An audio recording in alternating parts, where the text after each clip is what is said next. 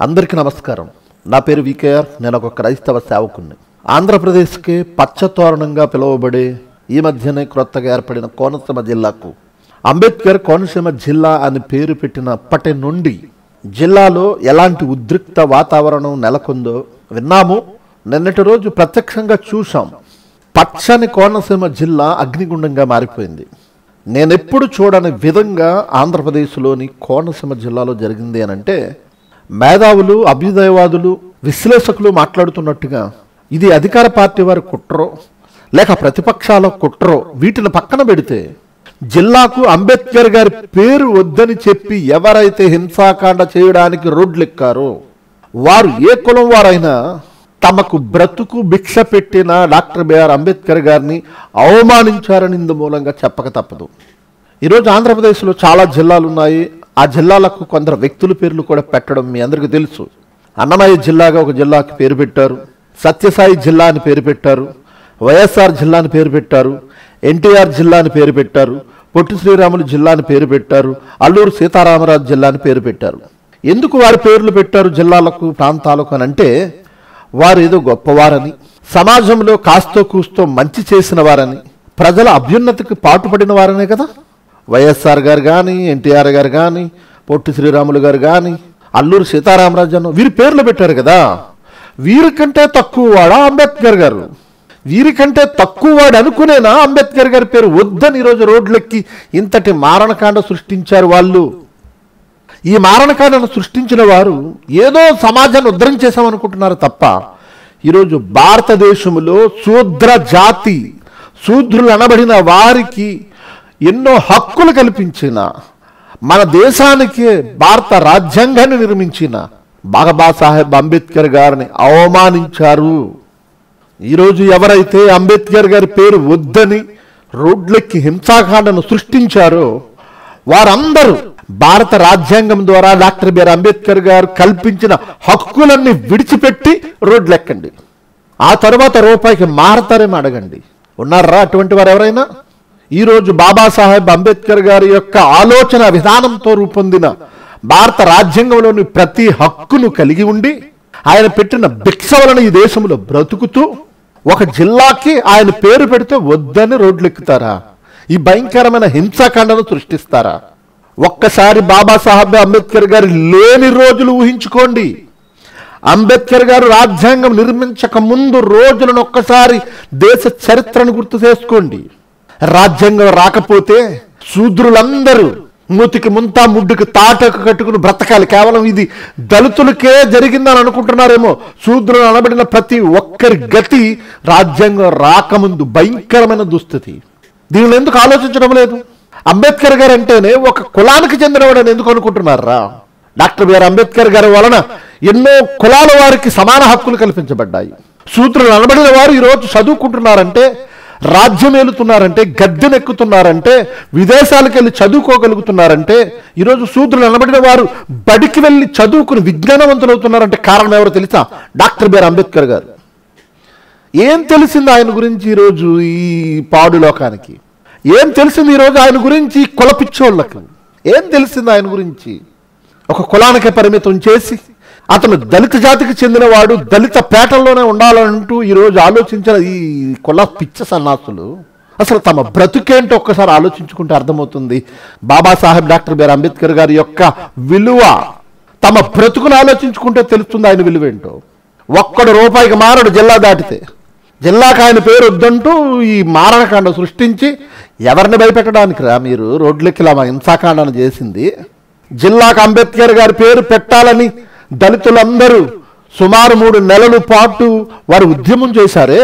ఆ మూడు నెలల్లో ఏనాడు ఏ దళితుడు ఒక్క ప్రభుత్వ ఆస్తిని ధ్వంసం చేయలేదు.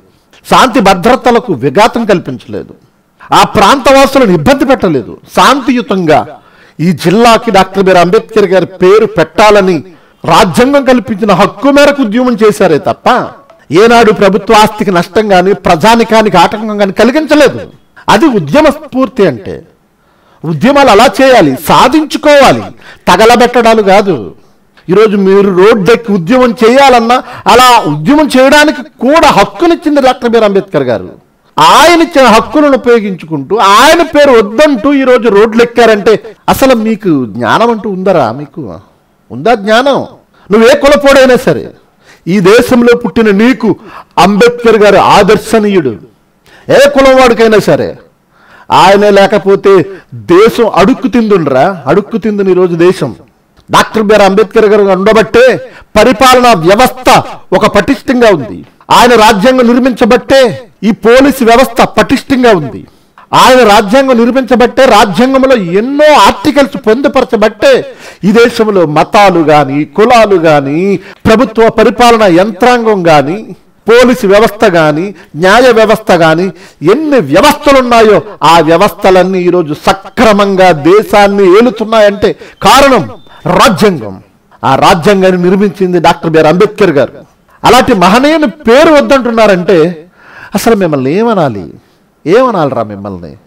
ప్రతి భారతీయ పౌరుడు చదువుకోవాలి విజ్ఞానవంతుడు అవ్వాలని కళలు గని ఎన్నో రాత్రులు నిద్ర హారాలు మానుకుని రాజ్యాంగాన్ని నిర్మించిన గొప్ప మహనీయుడు అంబేద్కర్ గారు. భారతదేశానికి బాబాసాహెబ్ అంబేద్కర్ గారి కంటే గొప్పవాడు ఎవరున్నారు ఆయన కంటే గొప్ప విద్యావేత్త ఉన్నాడా? ఆయన కంటే గొప్ప విజ్ఞానవంతుడు ఉన్నాడా? ఆయన కంటే గొప్ప మేధావి ఉన్నాడా? ఆయన లాంటి వాడన్నా ఉన్నాడా? ఈ దేశంలో ఉన్న మహనీయులందరినీ ఒక పక్కన పెట్టండి. ఒక్కొక్కరిని ఒక్కొక్కరిని అంబేద్కర్ గారికి సరిపోల్చండి. అంబేద్కర్ గారి వంటి మహనీయుడు మరొకడు ఉండడు. అంత గొప్ప మహనీయుడు పేరు. మన జిల్లాకి పెడితే మురిసిపోయి పొంగిపోయి ప్రభుత్వానికి కృతజ్ఞతలు చెప్పాల్సింది పోయి రోడ్లెక్కి ఈరోజు మారణకాండ సృష్టిస్తారా? కులాల కుంపటిని మరల రగిలిస్తారా?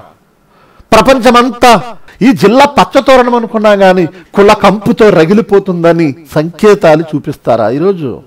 ఇదేనా అంబేద్కర్ గారిని వ్యతిరేకించి సమాజానికి మీరు చూపించింది. ఆయన పెట్టిన భిక్ష వలన బ్రతుకుతూ ఆయన పేరు వద్దంటున్నారంటే మారండిరా మారండి. ఆ మహనీయుని పాదాలు చెంత క్షమాపణ అడగండి. అప్పుడు కానీ మీరు చేసిన పాపానికి మీరు చేసిన నేరానికి ప్రాయశ్చిత్తం దొరకదు. ఏ దేశమేగినా లేదు కులం మన దేశంలో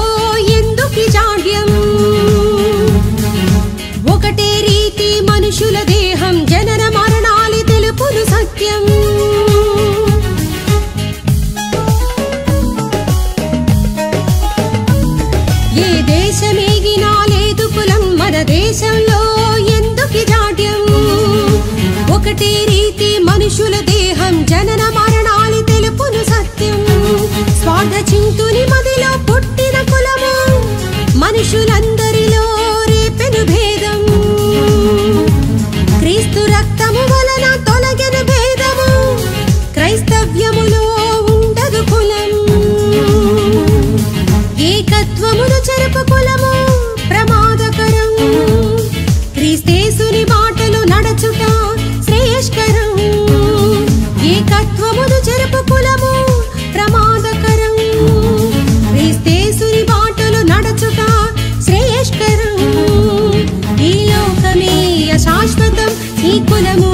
ఒక కల్పితం నీ జీవితం క్షణభంగురం నిత్య జీవమునిచ్చే క్రీస్తు చెంతకు పరుగిడి రమ్ము ఈ క్షణం.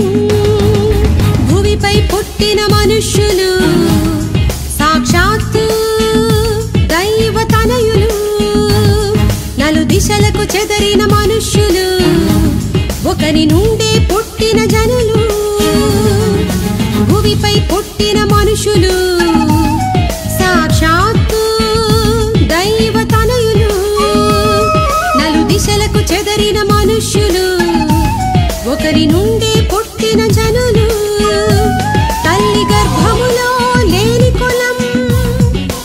शतकुक कादु श्रेयस्कर